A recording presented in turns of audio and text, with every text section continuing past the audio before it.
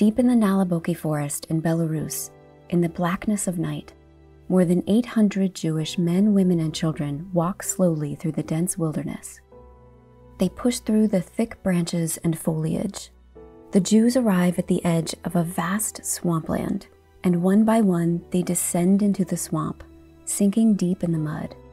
Hidden in the dark, they wait, quietly, in extreme desperation to evade capture by the Germans. It's August of 1943, this group of Jews has been living in the forest for almost two years, fighting German soldiers, rescuing fellow Jews, and rebuilding the very life and community that the Nazis were trying to destroy. The group is known as the Bielski Partisans. From the U.S. Holocaust Memorial Museum, this is 12 Years That Shook the World. I'm Erin Harper. It starts with three Jewish men known as the Bielski brothers Tuvia is 35, the oldest of the three. His brothers, Zus and Asael, are just a few years younger. Tuvia, Zus, and Asael were members of a very large family. That's Dr. J. Luke Ryder, historian at the William Levine Institute for Holocaust Education at the museum folks who were part of this group that grew around the Bielskis always referenced their strong leadership qualities that likely came from their military background. So they had this level of discipline and, and by all accounts, a very strong moral compass. And they spent much of their uh, young lives doing manual labor and also kind of navigating the, the nearby forests, you know, in both work and play. The land beyond the Bielskis' home is a dense forest and the Bielskis know the forest well the twists and turns, the lush oak and pine. This area today is known as Belarus. At the time, these Belarusian territories were part of Poland. And when the Germans invaded Poland, igniting World War II, these lands became part of the Soviet Union. Two years later, although the Nazis had signed agreements promising not to invade Soviet land, they invade anyway. On June 22 of 1941, the Germans launch an air attack, bombing and burning these Belarusian territories and immediately targeting Belarusian Jews. In 1941, when Nazi Germany invades the, the Soviet Union in, in devastating fashion, the wide presumption of most of the world is that Nazi Germany is and will be the master of the European continent. For the Bielskis, the following days are filled with chaos. Tuvia later wrote of this moment The fear and panic was unbelievable. There was catastrophe in the air. Initially, Tuvia and Zus, who serve in the army, are called to fight the Germans, but those efforts quickly fall apart as the Germans continue their attack. So Tuvia, Zus, and Asael each obtain rifles and machine guns for protection. Tuvia and Asael take cover in the forest just outside their village. There among the trees, they hide from the Germans. Zus wants to see his wife, who's in a nearby town. There, he witnesses a mass shooting of Jews. Rumors had just been spreading about German mobile killing squads and local collaborators sweeping through the area. There consist of about 3,000 specially trained men whose job is to essentially carry out mass shootings of civilians and Jews and to bury their bodies in, in pits this area of Belarus stands out in terms of uh, the absolute sort of unprecedented level of bloodletting. While the violence spreads across the region, several months go by. Tuvia, Zus, and Asael Bielski continue to hide in the forest. They bring friends and family members. One man is a carpenter, and together they build homes, tucked seamlessly into the earth. These were essentially uh, dugouts that were covered with felled trees and branches and vegetation to hide them, within which there were lines of wooden bunks built and covered with straw so they could be comfortable. This would become the winter home for 40 Jews. At night, they sleep shoulder to shoulder. Inside the bunker, it's pitch black, except for a few logs that burn dim. And for the moment, it's calm. But just past the forest edge, the terror and chaos rage on. And now, for Jews who are not in hiding, the Germans begin to rip them from their homes and force them into ghettos. These were essentially enclosed districts that isolated Jews from the non Jewish population, specifically designed to separate, persecute, and ultimately destroy Europe's Jews. The suffering in the ghettos is really hard for us to, to comprehend. I mean, almost immediately, Jews are living in, in very overcrowded and extremely unsanitary conditions. And Jews in the ghettos could not have known the terror that would come next. A few months later, in December of 1941, Germans descend onto the nearby Novogrudek ghetto and murder 4,000 Jews, including Tuvia's former wife, Zus's wife and baby girl, and the brothers' parents, who had been forced into the ghetto just days earlier. After this deeply personal loss, Tuvia writes a letter to other family members who had survived one of the ghetto attacks.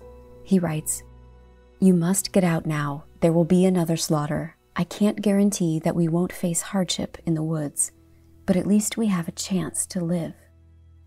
Still, some Jews in the ghettos believe that as long as they follow orders from the Germans, they'll survive in the ghetto. There was also a sense that you know those who had survived these initial actions should not leave behind members of their their communities. That to leave the ghetto meant to leave those you know members of your family who were still surviving, and a- after having lost you know perhaps other relations or close friends, there was some sense that sticking together would be best. And many Jews could not imagine facing the harsh elements of the forest. You know, this forest is so much, it's almost a combatant in the story, you know, because it, it is so dense and so impassable in so many ways. A lot of it is covered in swampland uh, with lots of wildlife, and the region has very large temperature swings between the seasons. So uh, summers can be very, very hot and humid, and the winters can be very cold with lots of snow. But the Germans continue their attack on Jews in other nearby ghettos. Over the next few months, thousands of Belarusian Jews are murdered in ghettos.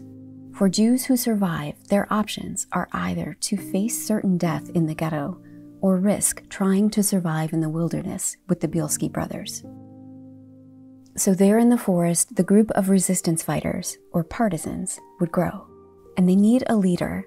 The Bielski's cousin, Yehuda, nominates Tuvia as their commander. Many said Tuvia was well suited, but he's both strong and compassionate. Next in command are his brothers, Asael and Zus. And in the fall of 1942, the group becomes known as the Bielski Partisans. Tuvia has a specific vision for life in the forest. Tuvia insists that all Jews are welcome, whether or not they could fight back against the Germans. Zusia's uh, later wife said that the doors of the Bielski brothers were always open for everybody, for the old, children, sick people, and they always had food. It really symbolized the, the, the possibility of having a community based on a sense of inclusivity and generosity. And I'll give you the words of Tuvia Bielski. He said, to me, it made no sense to, to you know, exact revenge. I wanted to save and not to kill. In another occasion says, you know, don't, don't rush to fight and die. So few of us are left, we have to save lives. To save a Jew is much more important than to kill Germans. So the leaders of, of this group, Tuvia in particular, were committed to the notion that with more people, the group would actually be safe. And this was not, you know, something immediately accepted by other members of the group. In fact, many people within the, the Bielski group argued that they would be safer if they kept their numbers low and excluded um, you know other members from joining or other you know Jews seeking shelter or safety from joining. But ultimately, the, the brothers and, and led by Tuvia decided that they would focus on saving as many Jews as they possibly could. By February of 1943, 300 Jews are living in the forest as Bielski partisans. As more Jews escape the ghettos, the group would grow to 700 people. Many newcomers are astonished when they arrive to see so many Jews living together. And many partisans begin new relationships with one another. Some women said they partnered with men as a means for protection to survive life in the forest. And some couples also pair with romantic intentions, like Asael Bielski, who has feelings for a young partisan named Haya. In lieu of a wedding ring, Asael presents Haya with a pistol as a sign of his love and commitment to protect her.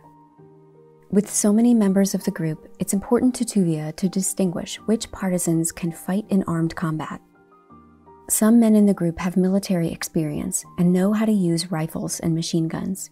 But in the forest, even some Jewish boys become armed fighters. This is uh, something that's discussed when it comes to Jews as, as victims of the Holocaust, as, a, as opposed to, to Jews as those who resisted cultural, physical, spiritual death.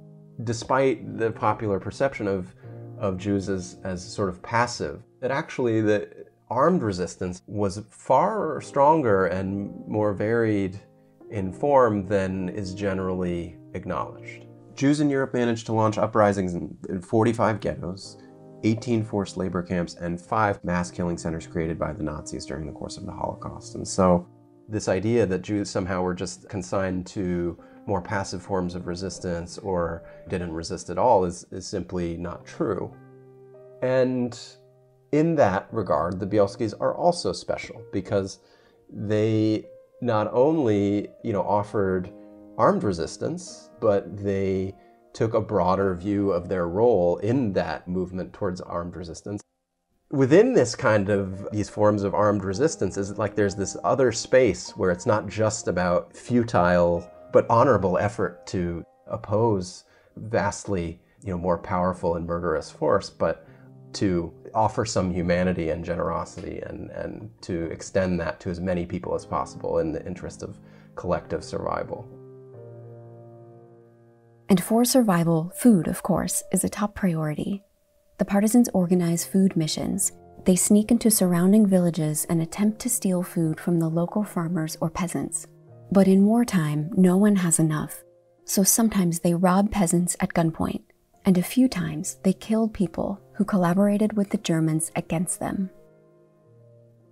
They were less emphasizing violence, although they did, in fact, have to, to engage in violence on plenty of occasions, and they did raid villages and they did steal to obtain food. You know, it may be hard for us to understand how these folks could, in some cases, kill in what seems like to us cold blood it's very hard to, to, to imagine the adversity and all of the, you know, sort of moral calculus that goes into, you know, well, do I kill this local villager who may betray my location to someone who will kill me? I mean, these are very uh, difficult questions. And I, I think that what we have to remember when it comes to, in particular, Jews in this situation is that they were living in a world that was unleashed by a murderous genocidal regime that forced them to face such choices.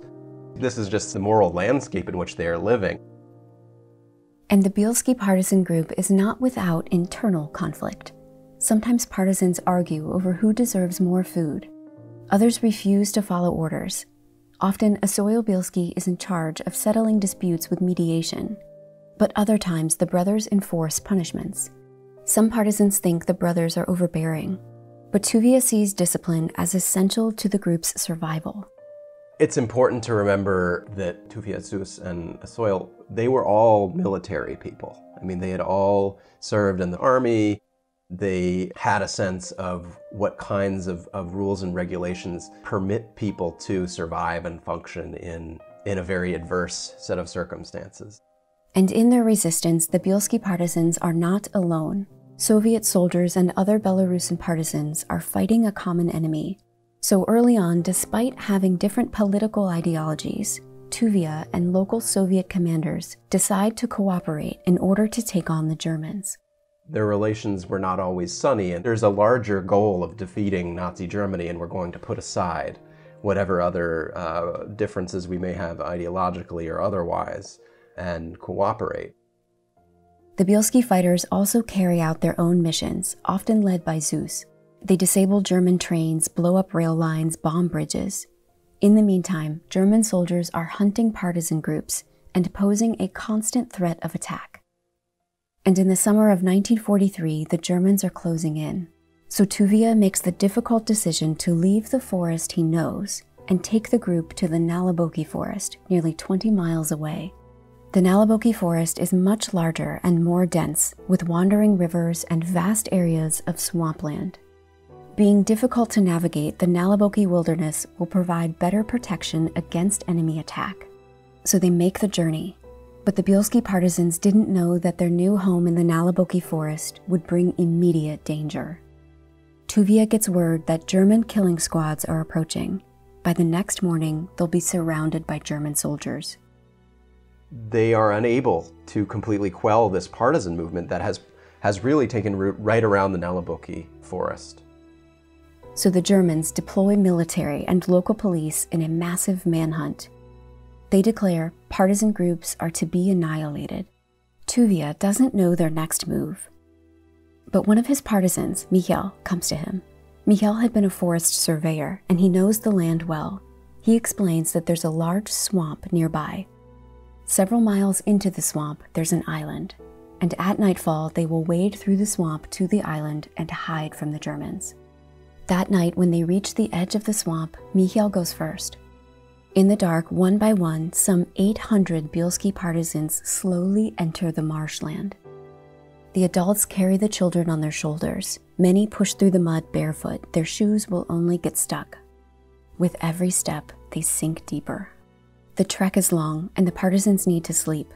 Some tie themselves to a tree or climb up to sleep in the branches. At morning light, mist rises off the swamp, and in the distance, they can see the island. Once they arrive, the partisans have nothing to do but wait. Wait for the Germans to leave the Naliboki forest. I mean, after trekking through this very forbidding swampland, they spend essentially 10 days covered with mud trying to evade the patrols of Germans and Belarusian collaborators that are hunting them. Meanwhile, the Germans are crawling through the dense Naliboki forest, hunting the partisans. The Bielski partisans eventually leave the island and make their way back to camp, but when they arrive, they find it destroyed. Now, exhausted and hungry, it's time to start again. They must move deeper into the forest and start the arduous build of a new camp. But this camp would be different. This time they would create a hidden village, a Jewish community. In terms of making use of the talents of the community, you know, the, the people, you know, were expected to offer services in some way. So if you were a carpenter, you know, you immediately got to work on building, you know, bunker or whatever it might be. I mean, this was a group effort and really required the commitment of, of all of these people. And one that involved uh, ingenuity and practicality and, and resourcefulness. The Bielski partisans build a village, some 20 bunkers for their living quarters, and a large structure for what they call workshops. Inside, women sew warm clothing, anything the partisans need. They also set up a hospital to treat partisans who are sick or injured. Across the way, they construct a school for more than 50 children in the camp. They also build a flour mill, a bakery, and of course, a kitchen, where cooks make potato soup or porridge cooked over a fire. Merely carrying on some of the, the more day to day tasks and um, rituals like sharing a meal or singing a song. Their ability, because of the protected community that allowed them to kind of maintain a sense of connection to this era that was that, that in all other ways was lost and a society that in all other ways seemed to have been completely destroyed. And with the forest protecting them, some partisans continue their religious observances, including Yom Kippur, a holy day of atonement in the Jewish faith. And in October of 1943, a Bielski partisan named Rhea welcomes the observance at nightfall with song and prayer she said, I remember it was very cold. The sky was clear and there were big stars. She continues, Everyone knew the tune of the prayer, and we sung it from memory as we thought of our families. I remember looking up at the trees, and it was as if they were singing with us. The partisans also play music a guitar, an accordion, a violin. They form a troupe to perform on special occasions. They dance, act, tell jokes, and sing songs. The leader of the troupe, Sulia, said of the performers, They needed laughter and we did too. Another Bielski partisan named Liza later wrote of these occasions. She said, It seemed like a fantasy from another world. We were the same people, flesh and blood, but stronger and freer. By the spring of 1944, the Bielski partisans have grown to more than 1,200 Jews, men, women, children, and elderly. Outside the forest, the war is still going on. Although the fate of Nazi Germany has changed course, it's become clear that Nazi Germany is losing the war. Then in June of 1944, a Soviet general rides into the camp. He tells the Bielski partisans that the Soviets have pushed the Germans back and regained control of the Belarusian capital. Within weeks, the Soviets take control and liberate Belarusian territories. But the Bielski partisans would meet one last fight. Within days, German soldiers retreating west towards Germany start running right into the Bielski camp. The Bielski fighters shoot at the Germans through the trees. Hearing the gunfire, the nearby Soviet partisans join in as they dominate the Germans. After the violence subsides, Tuvia discovers that several of his partisans were killed in battle. Hours later, the partisans hear more soldiers approaching through the trees. The partisans begin to run away, but wait, they notice it's not the Germans, it's the Soviet army taking back control. Suddenly, they realize the war in Belarusian territories is over. And with that, the Bielski partisans' time in the forest has ended. After three years of living in the forest, many of the partisans had memorized the earth under their feet. To many, at first, the forest seemed an impossible threat. In the end, the forest was not the enemy, but rather the protector. And although each partisan had stared death in the face, perhaps in the forest, many were able to hold on to who they were. A few days later, the Bielski partisans walk out of the Naliboki forest in a line stretching more than a mile long. Despite the fact that everyone knows that, that Nazi Germany will fall, you know, the war is still on. Even when the war is completely over, many who returned home found other people living in their houses. And in many cases, the, the locals who now occupied the property that they had owned uh, were violently anti-Semitic and refused, you know, to, to give them quarter or to, you know, discuss returning their property. And in many cases, this was violent. So the violence and hostility does not end. You're returning, like so many, you know, Polish and, and Belarusian or, or Ukrainian Jews, returning to communities that are, that are no long, that no longer exist, both physically, spiritually, and culturally. You know, there were very few joyous reunions. In many cases, families and friends were dead, had been, had been murdered. And so, despite this, you know, really almost impossible story of survival, the, the environment that they re-enter after the war is, it is tinged with this realization of all that's been lost.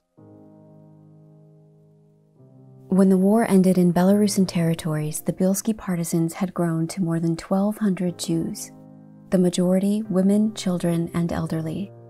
Today, the Bielski partisans are considered one of the largest rescues of Jews by Jews in the history of the Holocaust. And in this broader sense, I think that the, the unit came to symbolize that not only would Jews not willingly or passively allow themselves to be murdered in large number, but that they would attempt to create some kind of community uh, of hope in this very disrupted and hostile environment. And this was a, a, really a beacon of hope for Jews in an otherwise extremely bleak situation. And there's something that comes up and again and again in, in the literature about this group of people, and that is, you know, what made them, like, why were they able to do this? And I don't think that there's a very clear-cut answer. There was a very special quality possessed particularly by this family, the, the Bielski family, that, that allowed them to, to, to lead this effort.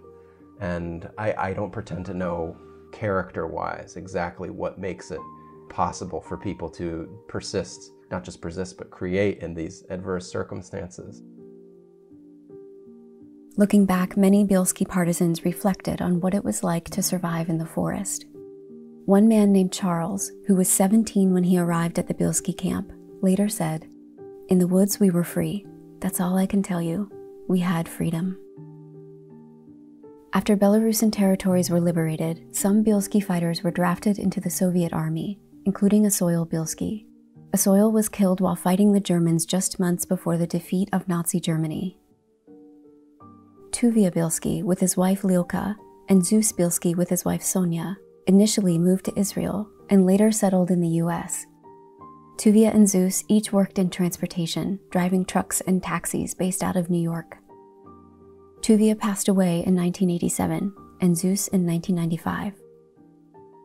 From the U.S. Holocaust Memorial Museum, this is 12 Years That Shook the World. I'm Erin Harper. Joining us today was Dr. J. Luke Ryder, historian at the William Levine Institute for Holocaust Education at the museum. Our story is informed by the work of author and journalist Peter Duffy, as well as sociologist and Holocaust survivor and scholar Nechama Tec, who wrote the book Defiance, which inspired the 2008 film of the same title. Our show is produced by myself. Our stories are researched by Meredith Guay. This podcast is funded in part by support from the Crown Family Philanthropies and from Laura Gins and family. Listeners, we want to hear from you. Tell us what you think of the episode. Send an email to podcast at ushmm.org or talk to us on social media. We are at Holocaust Museum. If you love our show, please follow us on your favorite podcast app. Thanks for listening.